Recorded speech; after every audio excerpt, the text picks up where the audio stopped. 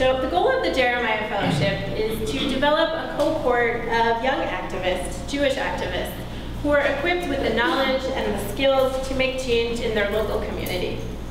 What we find at JUFJ is that DC is an exciting city, it's a sexy city, and people move here to work on national issues or they move here to work on international issues.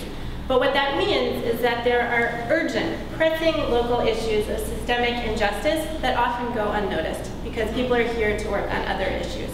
So the goal of this fellowship is really to equip people to, first of all, learn about the issues, but second of all, to learn how to make a change on the issues, and equally as importantly, to understand why doing that is a quintessentially Jewish thing to do. I'd applied to Jeremiah to establish a Jewish identity for myself and learn more about the role I could play to directly impact the local community.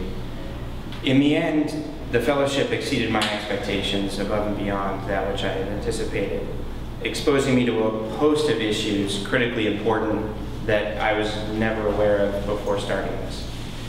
Um, thanks to Jeremiah and Rabbi Richman, I now know firsthand that social justice and activism can really play a role in all of the aspects of my life. So it was JFJ and the Jeremiah Fellowship that reminded me uh, of the history of the union movement and actually the organizing and the reason why we have fair wages, health care, and vacation time. I rethought my opinions on unions and now think they are some of the best jobs this country has to offer.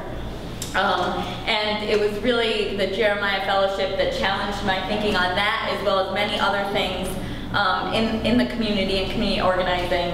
And I feel very empowered um, to have been a part of this fellowship. It's, it's basically uh, one of the top three things I've ever done in my life.